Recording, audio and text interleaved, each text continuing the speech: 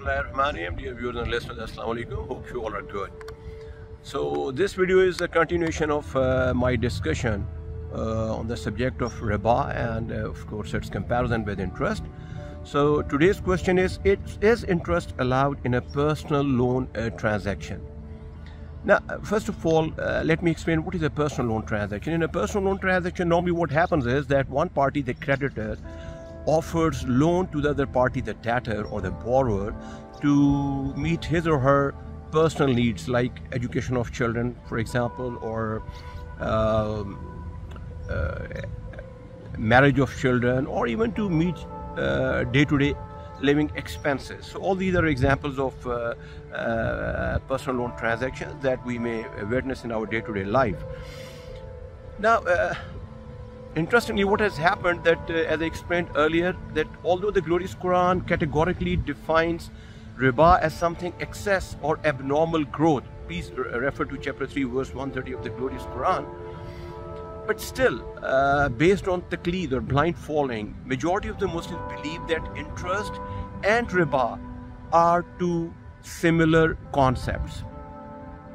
So, because of this prevalent confusion, uh, during the past almost 1500 years, Muslim scholars have not come up with a clear model of financial management whereby they can clearly distinguish interest from riba. Now, with reference to personal loan transaction, and uh, as the question that I put in, is it interest allowed in a personal loan transaction? If you put this question to uh, an ordinary Muslim, he would blindly say, okay, it's not allowed because interest is riba.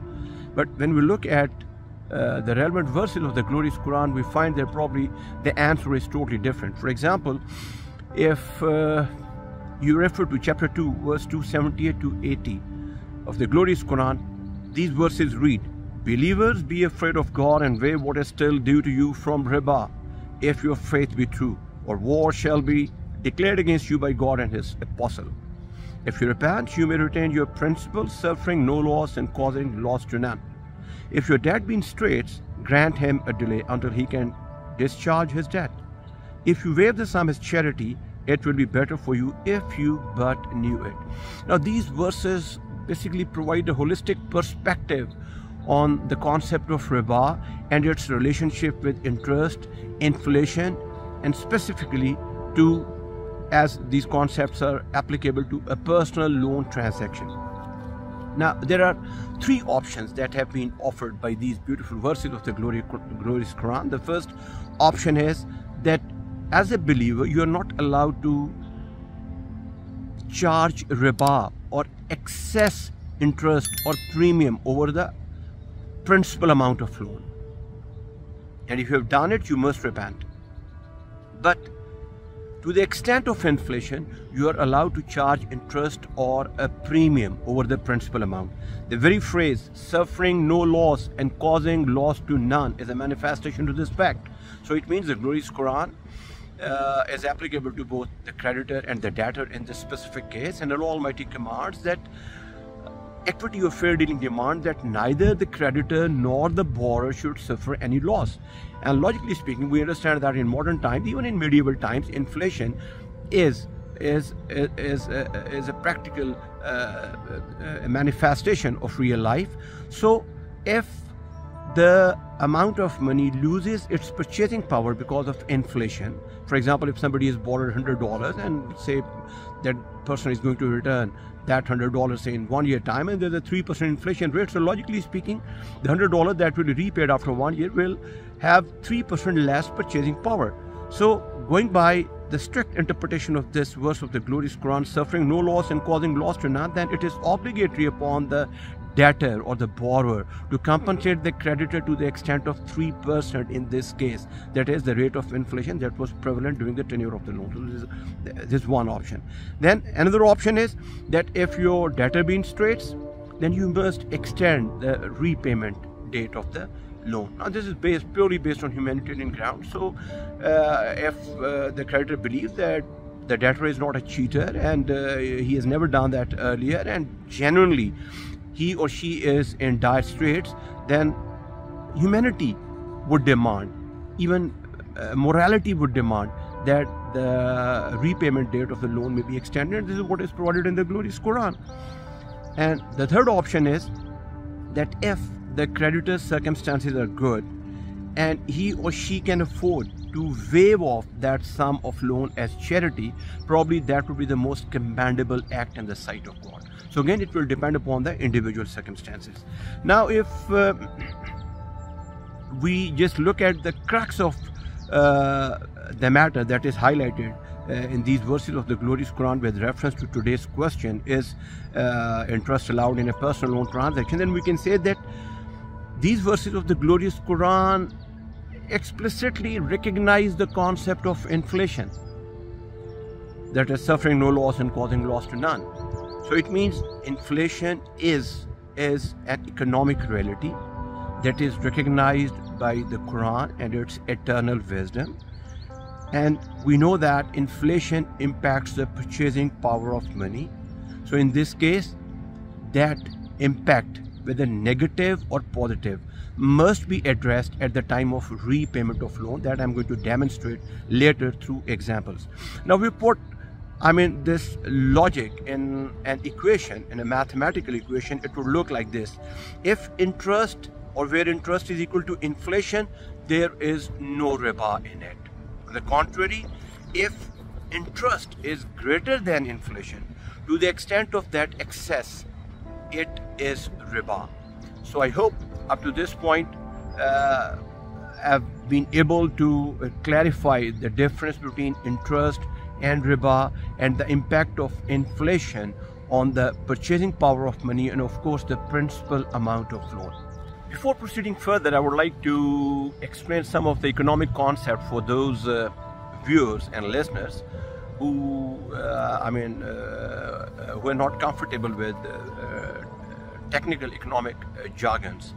So, first of all, what is inflation? Inflation is the process of rising prices, and we all witness it in our day-to-day life. And we know that when there is inflation, that is prices are rising, then it means the money purchasing power is being eroded. So we can buy less goods and services than what we used to buy earlier because of inflation. Now, another related concept uh, would be barter trade. In barter trade, uh, goods are directly exchanged for goods and uh, of course this used to be the standard in the primitive uh, societies but there were certain limitations of barter trade like lack of double coincidence of wants and lack of store of value and deferred payments etc etc for example i just give you one simple example. That uh, there is one guy who wants to exchange his uh, uh, uh, rooster with for example um, uh, some part of a goat. Now he has to find a person who is willing to uh, purchase as many number of roosters that would be equal to one goat and uh, uh probably this would not be an easy task and uh, it means that the economic activity would come to a standstill similarly I mean if we talked about uh, lack of store of value so in majority of the cases, the goods may be uh, perishable goods, for example, vegetables, fruits, uh, crops, etc., etc. So you can't really store them indefinitely as you can do with uh, money in modern times. Anyway, uh, barter was a norm in the uh, primitive societies, and we need to know that barter is basically exchange of goods for goods. Now, another related concept is commodity money. So, commodity money uh, is a concept whereby precious metals like gold, silver, bronze, they are used as money. And uh, of course, this used to be the case in the medieval times and even up, uh, up to 17th, 18th century, certain countries were using uh, commodity money. But uh, with reference to commodity money, we need to keep in mind that uh, there are two problems that may uh, cause inflation in the uh, even in the case of use of commodity money. And uh, one is the concept of debasement and the other is excess supply of that precious metal from which you are going to create that money. So um, the example of uh, commodity money um, maybe a cryptocurrency in modern times. That is a virtual currency and uh, this may be one variant of commodity money in modern times now, with reference to debasement, uh, the first noted debasement was done in 54 ACE by Nero in uh, Rome. And similarly, when we talk about excess supply of that precious metal resulting in more, I mean, uh, minting of the coins and all that, that happened uh, uh in Spain in the 16th and 17th century when the Spanish explorers discovered a bounty of gold and silver, and ultimately that caused inflation. So, what I'm trying to highlight is that in case of barter trade, inflation or the possibility of inflation is ruled out because the prices of uh, those commodities or goods are automatically adjusted. Now, in case of commodity money, inflation may be present if there is debasement because then it's going to lose its purchasing power. The content of that uh, specific coin uh, has decreased in value or there is excess supply of uh, precious metal. And of course since there's a large supply of money as the monetarists put it that way so excess supply of money would always lead to inflation. So this is the case with commodity money also now we talk about fiat money because we all live in a fiat money era, era. And what is a fiat money? Basically, you talk about a hundred dollar bill, so its intrinsic value may be about five cents. I mean, uh, uh, the, the the stuff that it is made of may be worth five five cents, but the stamp on it that that bears hundred dollars. Uh, at it, this is the ex extrinsic value. So extrinsic value uh, is basically uh, the value that this particular one $100 bill is commanding at one particular point in time. And if due to inflation, the prices of other goods and commodities is increasing, whereas the value of this $100 bill is locked within this $100 figure, so it means it's going to buy less goods and services than what it used to do earlier. So this is the problem with fiat money. So whenever we're going to use fiat money, as is the case with modern economies, inflation is an economic reality. You can't avoid it. So prices will be increasing whether you go by the Keynesian school of thought uh, approach or the monetary school of thought approach. I mean, whether you, you, you think that inflation is due to excess supply of money or whether it is demand-led factors, whatever is it, but inflation is always present. So since inflation is an economic reality and Glorious Quran provides solution to all problems of mankind, so it means the relevant verses of the glorious Quran should be capable enough to provide solution to inflation. And I have already referred to that the very phrase suffering no loss and causing loss to none is a manifestation manifestation to the fact that the glorious Quran acknowledges the impact of inflation and the glorious Quran allows human being to adjust the principal amount of loan in the light of inflation and the erosion in the purchasing power of money. So, okay, let me demonstrate this argument, uh, rather reinforce this argument through three simple examples, each related to barter system, commodity money, and fiat money. Now, first example relates to barter system. Suppose that A has borrowed 20 kilograms of wheat of certain quality from B for a period of one year. Now, in this case, of course, the debtor is bound to return 20 kilograms of wheat of the same quality to the creditor. And in this particular case inflation is not involved because the very commodity in this case the wheat if it is of the same quality there'll be no difference between the wheat that was offered as a loan and the wheat that is returned by the borrower so I mean this this is one classic example. So in case of uh, I mean barter system, as I explained earlier, inflation may not be present. So the question of riba will only arise if the creditor insists that after one year instead of 20 kilogram you have to return 25 kilogram of wheat of the same quality in this case the excess of 5 kilogram will be riba according to the strict interpretation of the verses of the glorious quran now the second example relates to commodity money suppose that uh, A has borrowed 10 silver coins uh, of 1 gram each from B with the promise that he will uh, return the same quality of 10 silver coins of 1 gram each. Now in this case, as uh, I explained earlier, if after one year there is no debasement and there is no excess supply of silver coins in the economy and the purchasing power is more or less intact, so the debtor can return those 10 silver coins of the same quality. And of course there will be no involvement of uh, uh, since there is no inflation and uh, since 100 uh, 10 coins uh, of 1 gram each have been returned so there is no riba involved in it on the contrary, if the creditor demands that no, instead of, for example, uh, 10 silver coins of 1 gram each, I would demand uh, 12 sil silver coins of 1 gram each, or say 10 silver coins not of 1 gram, rather 1.2 gram each. So this excess will be considered riba, and this is strictly prohibited according to the wisdom provided by the glorious Quran. And the third example relates to fiat money. Suppose that A has borrowed a sum of $1,000 from B for one year with a condition that A will return the amount that is equal in purchasing power of $1,000 of today.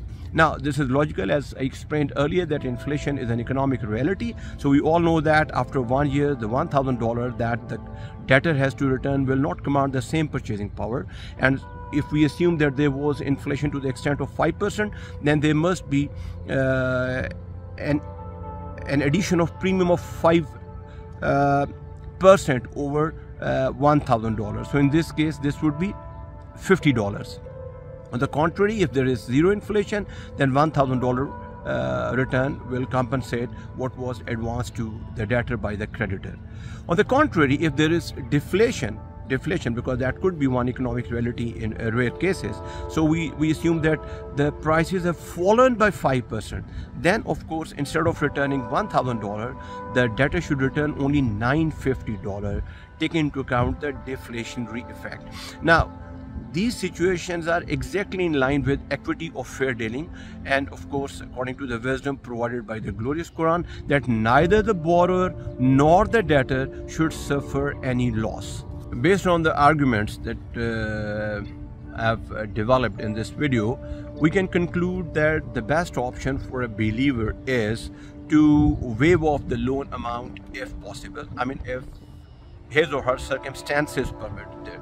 He's under no obligation, but Allah Almighty commands in the glorious Quran that this is the best act if you but knew it. And of course, another option is that if the debtor is in dire straits, then you may extend the uh, repayment date of the loan and that is based on uh, of course morality and equity. Or if you believe that there was inflation during the tenure of the loan but because of your good circumstances as a creditor and fearing Allah Almighty you may waive off the interest component. That again will be a good act on your part. But if you believe that your circumstances demand that you must get the same amount of money in terms of purchasing power that what we lent say one year six months ago five years ago then there is no bar.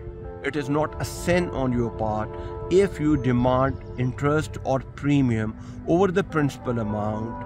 That may equate more or less the purchasing power of money equal to what it used to be when the loan was advanced. So this is the wisdom provided by the glorious quran now, important point to remember is that Islam is a pragmatic religion and the glorious Quran provides solution to all problems and circumstances. Many people, unfortunately, even the believers, they say that uh, uh, the glorious Quran doesn't provide solution to every problem, but the glorious Quran rebuts this argument or this statement in the following words. For example, chapter 17 verse 89 of the glorious quran reads in this quran we have set out all kinds of examples for people yet most of them persist in disbelieving. They still say no no it's not complete so we need some other source of information whereby we can lead our lives. You can only lead your life according to the wish of allah almighty if you follow the glorious quran. This fact is reinforced in chapter 18, verse 54, in the following words In this Quran, we have presented every kind of description for people, but man is more contentious than any other creature. So it is the reinforcement of that verse that I discussed earlier that Allah Almighty says that I have presented every sort of example and description in the glorious Quran. So it means the glorious Quran provides solution to every human problem, provided you have the reason to understand the very commands of the glorious Quran and you don't behave like a blind follower or when you read quran you close your mind or you go with an indifferent attitude okay i don't care for it because i believe quran is now incomplete so unfortunately what happens is the majority of the followers of islam are blind followers of individual sects and they never bother to read the glorious quran meticulously to transform their lives in the light of wisdom provided by the glorious quran. So i believe that uh, we as conscientious believers and Muslims uh, will start reading and studying and understanding the glorious Quran if we're not already doing it to transform our lives like a true believer without I mean following any sect blindly. Because there is only one sect in Islam and that is strict monotheism. Haniful Muslimun. And who is a strict monotheist? Who follows the glorious Quran. That is the straightest path towards salvation and towards approaching Allah Almighty. Thank you for watching.